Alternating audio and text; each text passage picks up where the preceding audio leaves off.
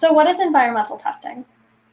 Well, there are lots of different types of environmental testing. There's temperature, humidity, solar radiation, pressure, salt spray testing, etc. And today we're only going to be focusing on the vibration control testing. So vibration testing allows engineers to validate the reliability of their products through controlled testing. And these vibration tests are going to accelerate the durability validation process by producing an equivalent lifetime of contributions of vibration, but in less time.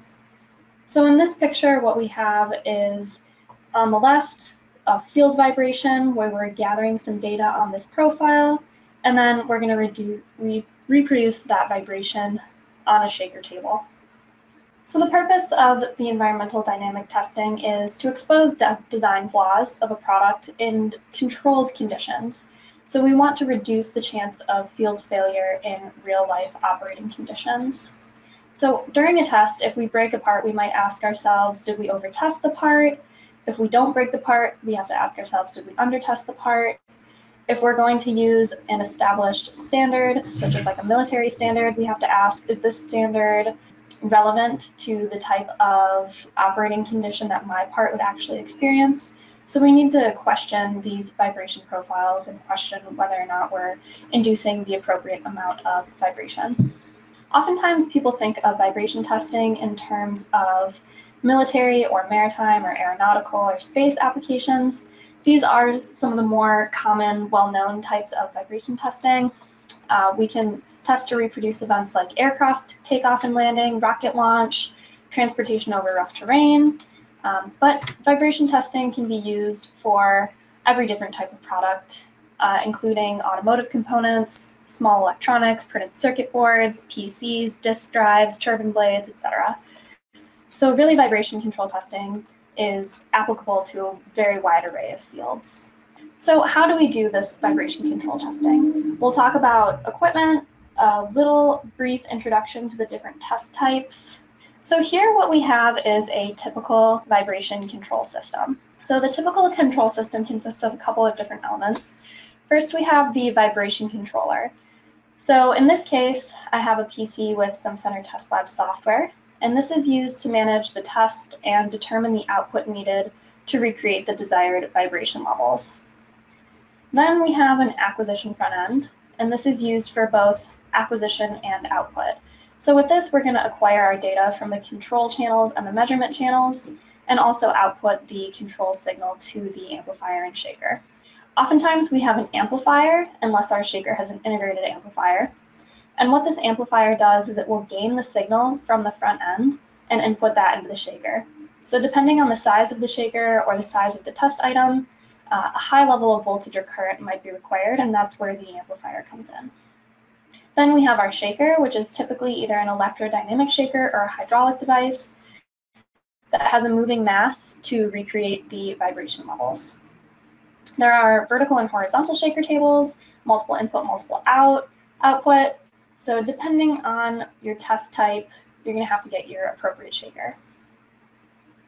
And then of course we have our test article and our transducers, which are typically going to be accelerometers, although sometimes load or force transducers are also used. And we have to ensure that these have the right sensitivity for our application.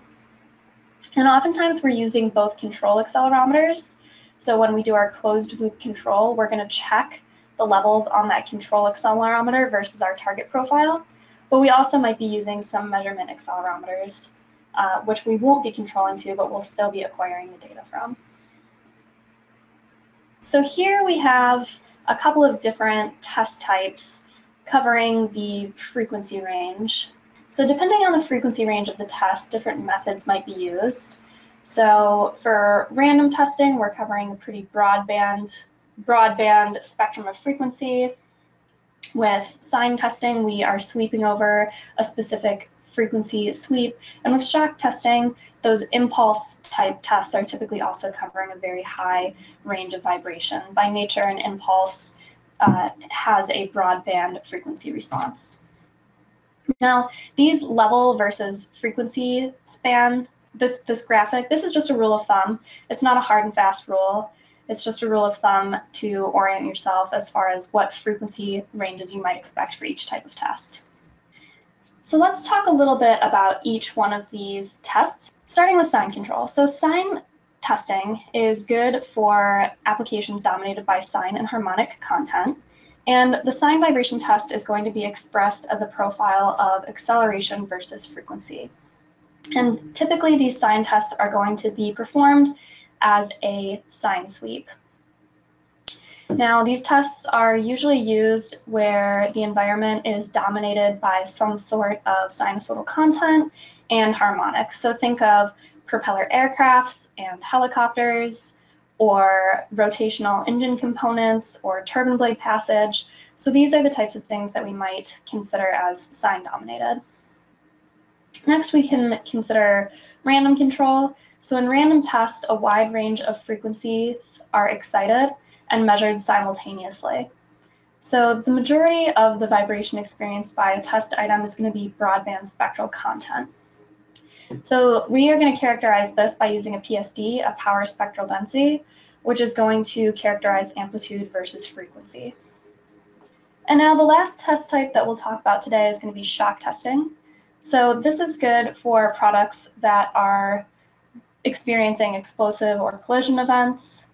So if you think of things like handling or transportation or surface environments, and in this case, we're not going to be characterizing it with a frequency spectrum, but rather we're going to characterize it with an acceleration versus time waveform, which will be reproduced on the shaker. Now, all of these tests are going to be performed in what's called a closed loop control environment. So the difference between open loop and closed loop control is in both cases, we have a target profile, we have a shaker, we have a front end outputting that signal. But in the open loop control case, there's no feedback into the shaker. We're just purely outputting a signal and measuring what we're getting. In the closed loop control, we're outputting a signal and then we're going to check that that output is actually matching our profile. And if it's not matching our profile, we'll update that drive signal and then adjust to make sure that our output is matching our desired test profile. So there's a level of feedback in this closed loop control that we're not getting in our open loop control. So closed loop control is great because we can verify that the test structure isn't in any danger of being over tested and we can shape the drive spectrum so that the response of the control transducers matches the, the target. So we can take into account things like resonances or harmonic distortion and things like that. So the basic principle here, again, we have our control system. Our system transfer function is going to be a measure of the output over the input. And when we're thinking of output and input, we're going to think of it in terms of on the test structure or on the shaker. So the shaker is going to have an input of volts, and the output of this system is going to be the G's of response. So depending on the test profile and the structural dynamics of the shaker and the test object, the drive is going to update to make sure that we stay within our profile. So if we have a resonant frequency, we would have to put out less excitation at that resonant frequency, less voltage, versus if we had an anti-resonance where we would need to put out more voltage. So we characterize the system, and then we use the system transfer function to determine how many volts we need to excite at every frequency.